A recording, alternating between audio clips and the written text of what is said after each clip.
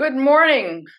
Today is April 15th, and I hope you've paid your taxes and that's been the high point of your day. So now I'm going to talk about the disasters of the world. I'm going to start with a few minutes talking about Gaza and then talk about the whole Iran uh, Israel situation and maybe end again with Gaza. So let me just remind ourselves before uh, Hamas attacked Israel and killed all of these Israelis, innocent Israelis. Some of them, by the way, belonged on a kibbutz, which tried to uh, connect with Palestinians and develop better relations, which is very unfortunate. In any event, it's a sad mess. But um, it's useful to remind ourselves that the government of Netanyahu had a 145 page report detailing that Hamas was going to more or less do what it did in Israel. And furthermore, there were Israeli soldiers, women actually, along the barrier between Israel and, and Gaza and Hamas. And they reported activity that concerned them, and their report was ignored.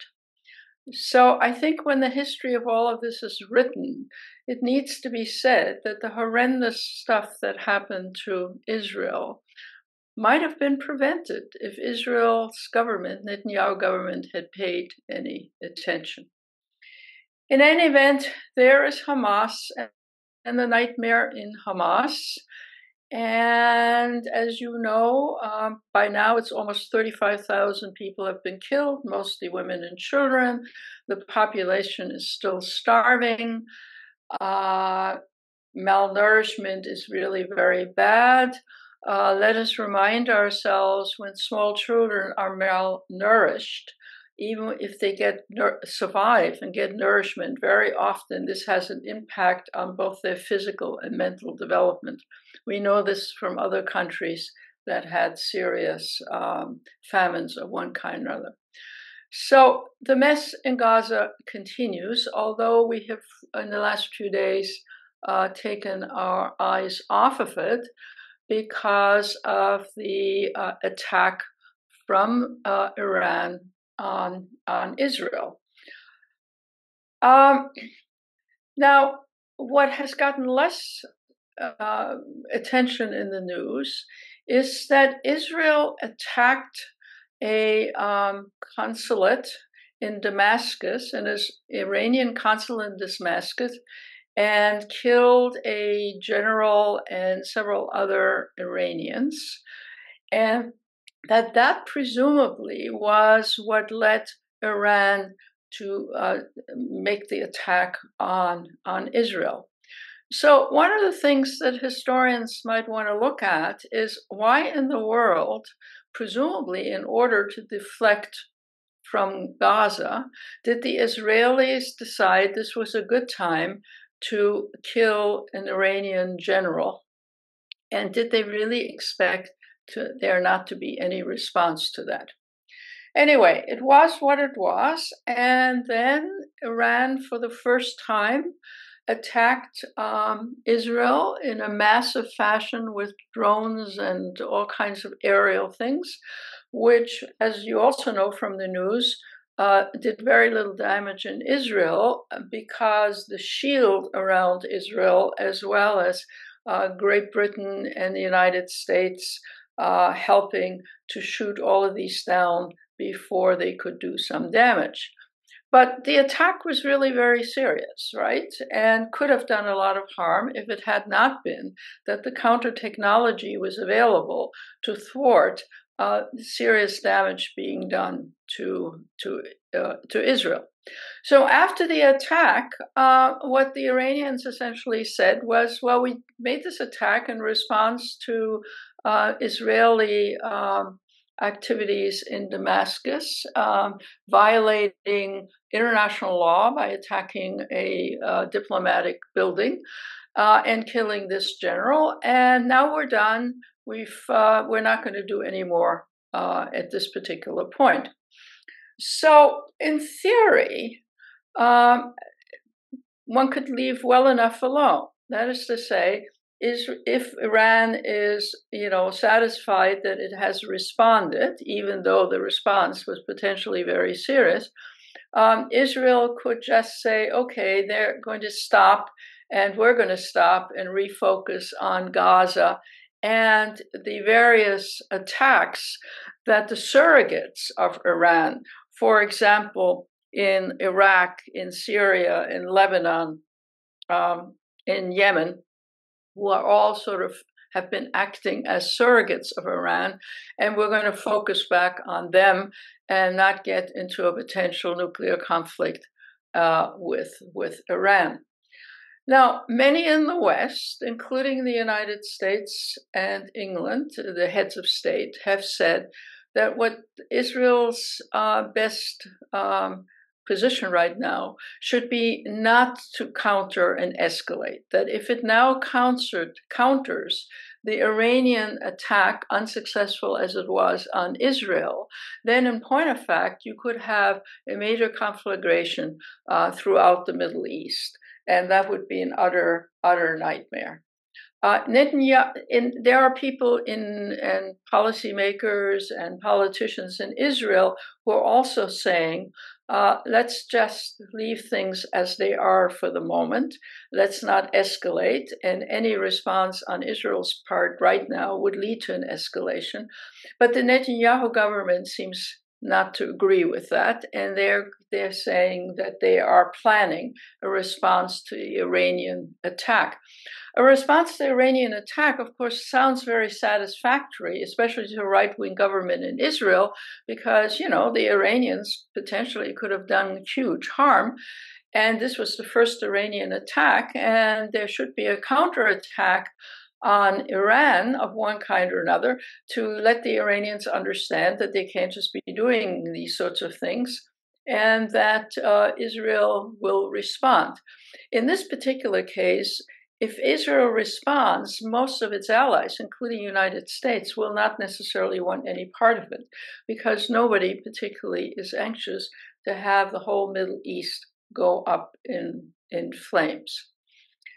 So we are at a stalemate at the moment. Uh, the Israeli cabinet is meeting and trying to decide how they're going to be respond, and whether or not um, Israel will listen to saner voices, the United States, European countries, uh, Sunni countries in the Middle East, by saying, "Let's not escalate this. This, this is going to be very dangerous." Uh, uh, it's hard to know whether Israeli government, Netanyahu government, uh, will, um, you know, listen one way or the other. In the meantime, of course, we've had several days now where we've heard very little about Gaza, right? And the killing in Gaza continues. Um, Israel says they're still going to attack Rafah. They have now, due to the pre- international pressure, agreed to let more food in, and they are go- we're going to open several more um, uh, routes into into Gaza to bring food in.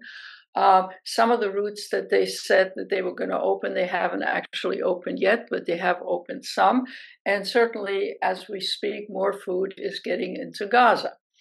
So now, in the idea in Gaza is, or the Israeli idea is that the million and some almost million and a half people in Gaza who were chased down to Rafah in order to avoid getting killed in northern Gaza, uh, that they can just be told to go somewhere else, and then um, you know uh, Israel can get after the residual leadership that it believes is now in, in Rafah.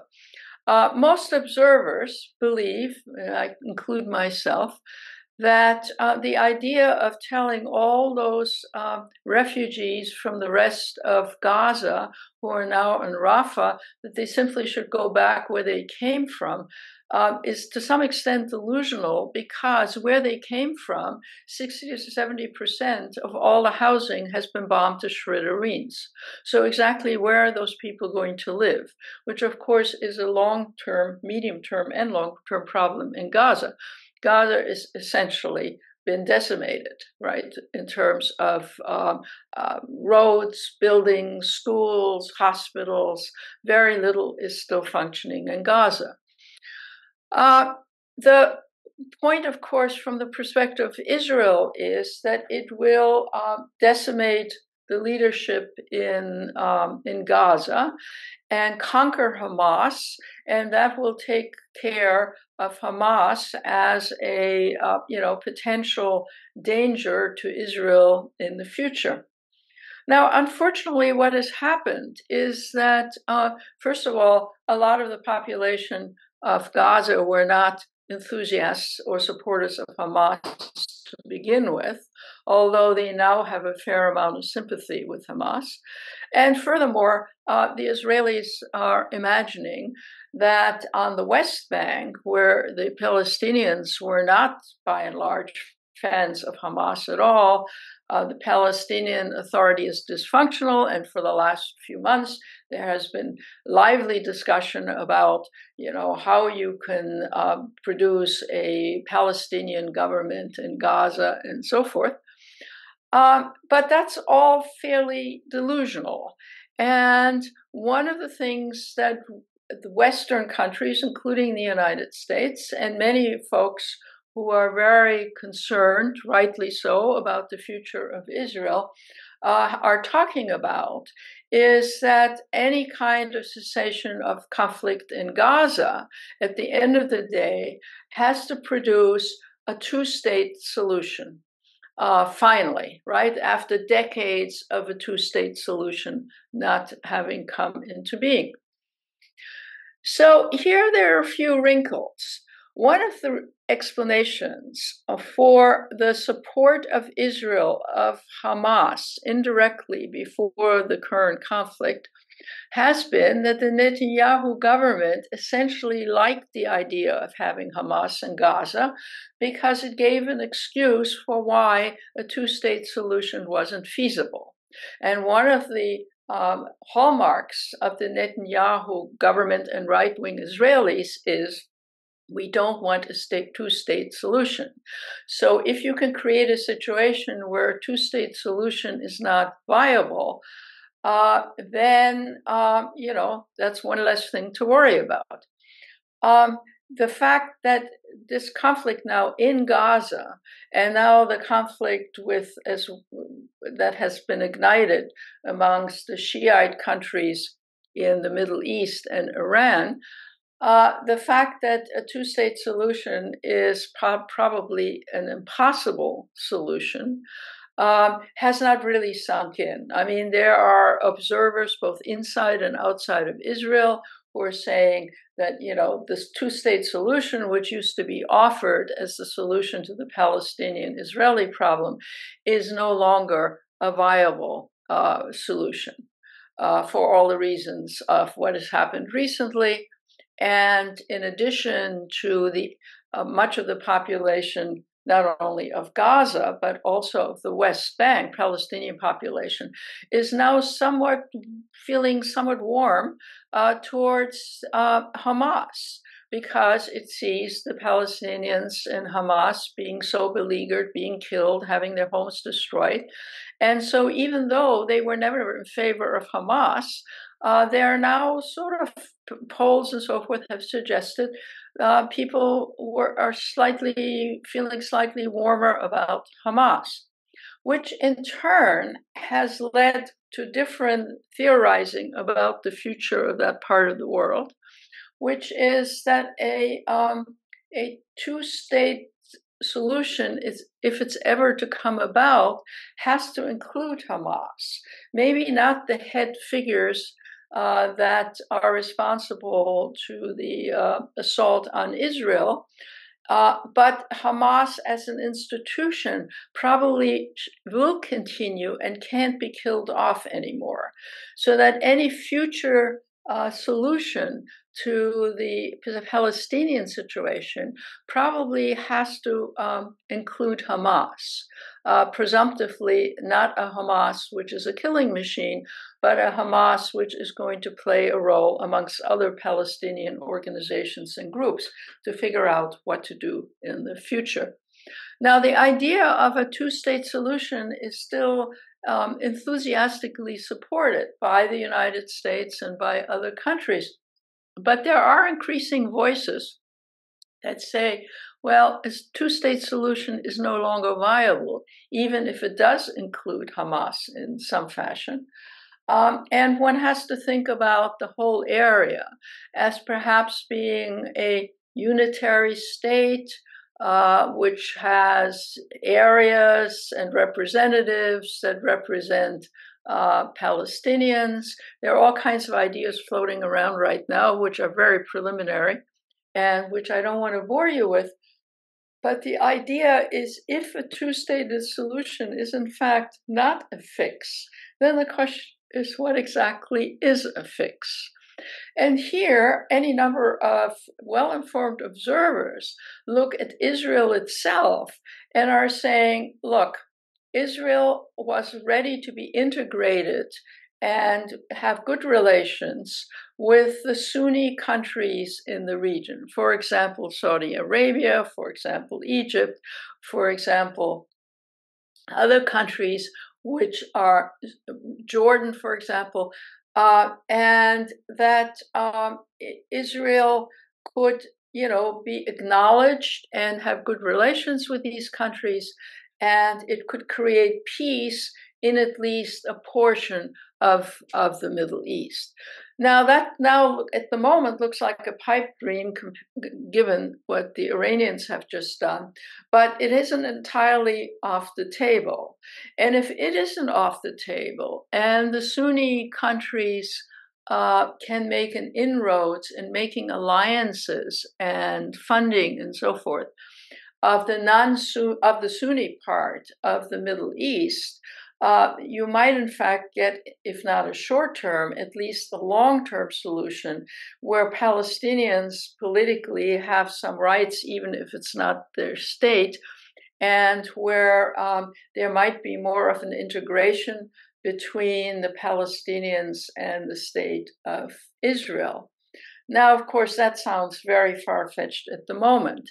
And it's particularly far fetched when you look at Israel, up until recently anyway, uh, which is 20% of the Israeli population are what the Israelis call Pal- uh, Israeli Arabs. They're Palestinians. And one of, of course, the attacks against Israel has been that it has created a kind of apartheid state inside of Israel by mistreating their Arab populations, not giving them full political or any kind of rights, and that, that this does not bode well for the Israelis living together uh, with Palestinians, even if they're Palestinians that accept uh, um, Jewish dominance, uh, you know, the Israeli state that is dominated by by uh, Jews, etc. So what I'm sketching in a way is um, old boogaboos about how to resolve the mess in the Middle East um, are coming to the fore. People are rethinking the last 70 years or so what could be done or should be done, what Israel might have done, what other states might have done, and how you can lower the temperature in that part of the world. Now, you, it's hard to lower the temperature in terms of, of Iran because Iran is the big counterpower uh, to Saudi Arabia, right? And Iran's interests and Saudi Arabia's interests are quite different, and they have quite different alliances. Uh, on the other hand, um, you can have quite different societies, religions, and so forth, and figure out some way for people to live together in the long term. That is very far fetched as I speak this Monday morning, because if the Israelis attack the Iranians directly rather than their surrogates uh, in places like Yemen and um, Lebanon, for that matter, um, then all hell will break loose. And it is very unclear that once hell breaks loose, exactly how you're going to um, how you're going to proceed. So even though the Israeli cabinet is meeting right now and trying to figure out how it's going to respond, and people who you know want to be of assistance to Israel, heads of state, uh, citizens, and so forth, say, well, you know, Israel has to respond in some ways. Uh, sometimes you know, power and influence come from not acting rather than acting. The message got, has been transferred to Iran that not only does Israel have a way to defend itself, but also United States and your, some European countries will back it up. And Iran is not in very good shape itself right now. Uh, the current Ayatollah will probably die. They will have to have a new uh, one. Uh, there are bad economic situations for the Iranians.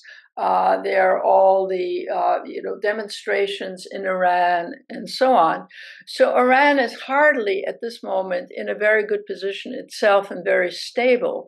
And it would be crazy if it would uh, exacerbate the conflict in the Middle East precisely in terms of it, Iran, directly doing something. Now, the fact that the surrogates like um, Hezbollah in uh, in uh, Lebanon uh, and the Israelis may continue to shoot it out to some extent, uh, and the Houthis in Yemen may still stop, you know, boats and. Uh, I think that, uh, and this is just a guess, that that's not about to stop but it's manageable as long as the big actors don't get into the into the middle of it. Um, then, uh, if you imagine for a moment that Israel will not escalate the conflict in the Middle East in the next few days or few weeks, and won't, you know, take it upon themselves of killing some Iranian uh, military officers, whether they're in Iraq or whether they're in, in Syria. Then the question is um, the focus comes back uh, in a very serious way onto Gaza and what to do about Gaza. And, you know, uh, we've discussed, and you're well aware of the fact that since Gaza is now a basket case, I mean, people have no schools, no hospitals, uh, have uh, the Israelis have lost support in by the killing of aid workers, right? The the central kitchen people, uh, which you know there were any number of people, and they've gotten a lot of attention. But the fact is that um, the uh, 200 or so aid workers have been killed. Doctors, volunteer doctors have been killed. None of this uh, has a favorable uh, uh, consequence in countries which have been trying to help the people, the people in Gaza. But let's assume for a minute that uh, the Israelis managed to kill off the top leadership uh, of Hamas. Uh, by the way, it managed to kill two sons of one of the leaders of Hamas the other day. That is also not a very promising way to make peace. Uh, let's just assume it managed to kill off uh, the main leadership and declare victory. Then what in terms of Gaza?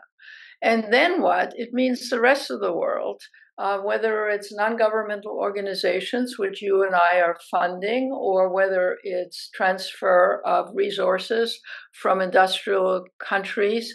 Uh, it and or whether the burden main burden is going to be carried by Saudi Arabia but millions and billions have to go into Gaza to make it a habitable place again well if you read the Israeli press that's actually considered by the, by some in Israel as unlikely That is to say, the cost of rebuilding Gaza uh, is going to be so huge that it would actually be much more, much cheaper and much more viable if the remaining Gazans were spread out to other countries. Uh, so the idea is, you know, Egypt could take some of the Palestinians and some more could move into other, um, you know, uh, Sunni friendly countries. Uh, maybe Jordan could absorb some more, and so on. Uh, this, I would say, is largely a pipe dream. Nobody wants these Palestinians. Uh, and these Palestinians don't particularly want to go live in these other countries either. So the idea that, okay, you've now sort of destroyed Gaza, and if you're not going to have a, a, regional Middle East war with Iran, then things will quiet down as soon as the Israelis have done, finished their uh, killing off of the top leadership. And then the rest of the world uh, will think, well, now we have to jump in and try to rebuild Gaza. Uh, or alternatively, the Israelis have floated the idea it would be much better, and the, the Palestinians in Gaza would have a much better life if they just spread around the world a little bit and move to other countries, and other countries would, would absorb them.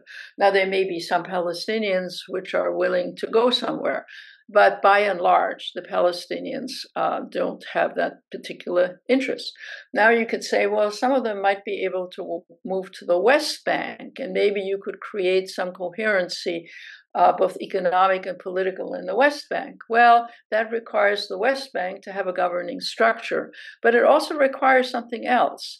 And that is that in the West Bank, Israel has pushed more and more settlers and supported more and more settlers in the West Bank, including, uh, you know, radical Orthodox individuals uh, who have just simply taken the land from the Palestinians, and more and more of the uh, natural as well as other resources in the West Bank are now under the control of um, of Israelis uh, and right, very right wing Israelis by and large, very religious and very right wing Israelis, and encouraging that on the part of Israel has also created a situation that makes the West Bank less viable as a future uh, seat for Palestinians, because the Palestinians will will say, well, you know, if we can have the West Bank back and create a state in the West Bank, maybe we could have a conversation. But that is not the intention of the Netanyahu government. So, in sum, if things go badly, we're going to have a major and nasty war in the Middle East, which will be very destructive and which will involve the United States and other countries. If saner voices uh, come to the fore in Israel uh, and say a tit for tat will just increase an even worse situation in this part of the world, and if the Iranians are able to now say to their own population, see, we've acted against these awful people uh, who are killing uh, Palestinians.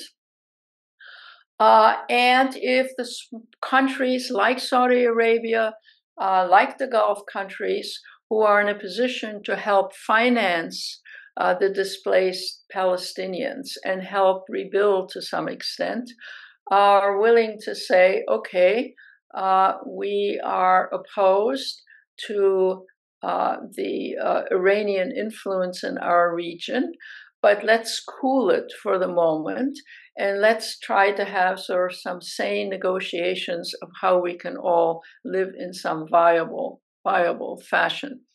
Um, in the meantime, the radicals in Iran, of course, are saying, given what's going on, with uh, in Gaza and and the Israelis, you know, killing off one of our generals, we better speed up uh, the development of a nuclear weapon. And that is a whole different subject because if uh, Iran comes seriously nuclear, um, it also means that Saudi Arabia and some other countries will want to go seriously nuclear. And the more nuclear powers there are, the more danger there is of accidents and or even the use of limited nuclear weapons. So the picture I am sketching is that on this Monday the 15th, everything is very confused. Everything is dependent on Israel cooling it at the moment and taking the word of Iran that it has done what it ha- was, wanted to do to show that you know we're here and we can attack Israel.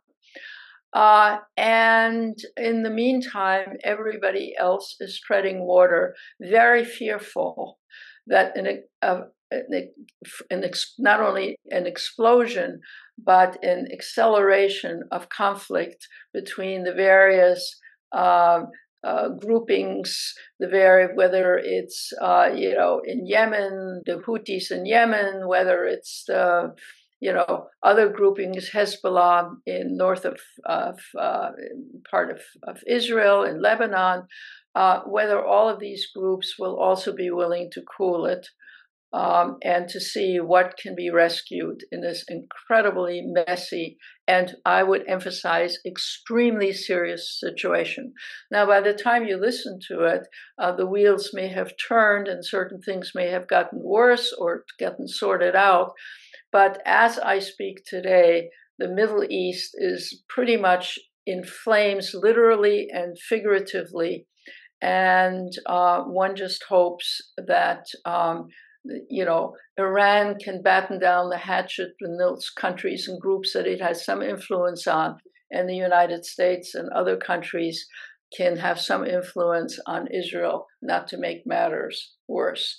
And then everybody needs to search for a solution, me- short term, medium, and long term, about what to do about the Palestinians, um, both in Israel and in the West Bank and in Gaza. Thank you very much for listening. Talk to you again in two weeks.